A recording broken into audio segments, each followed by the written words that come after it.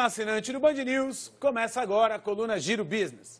O tema da semana, a indústria de brinquedos. E para falar deste tema, está conosco o sócio e presidente da Brinquedos Estrela, Carlos Tchukian. Tchukian, é um grande prazer tê-lo aqui no Giro Business e ainda mais tê-lo como representante da Estrela.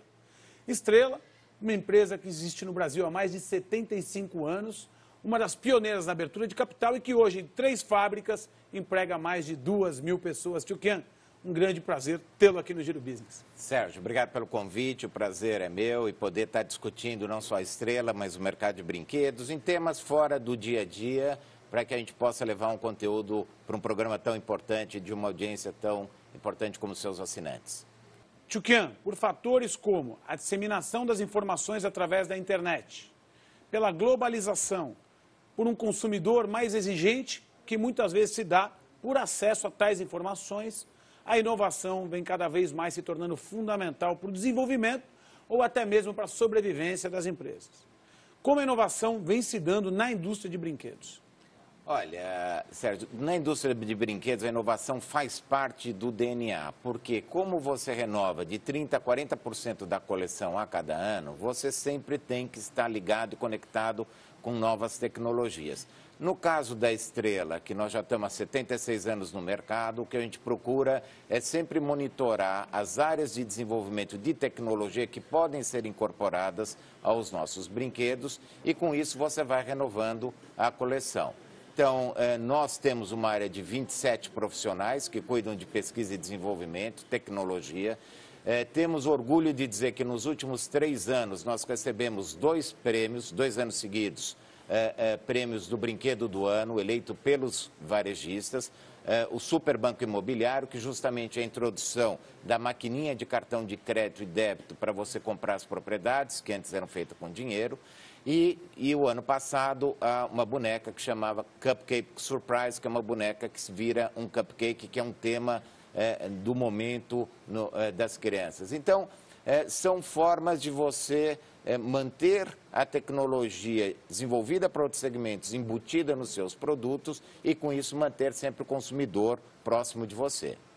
Tchuquian, sem dúvida a inovação está na essência da indústria e também da Brinquedos Estrela. Isso pode ser percebido pela história dos brinquedos desenvolvidos pela empresa.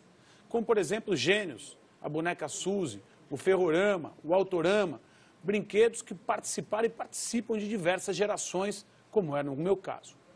Muito bem, dado este ponto, Tio Kian, a Estrela vem hoje inovando e buscando criar produtos para outras faixas etárias, que sem dúvida nenhuma faz parte do seu processo de inovação.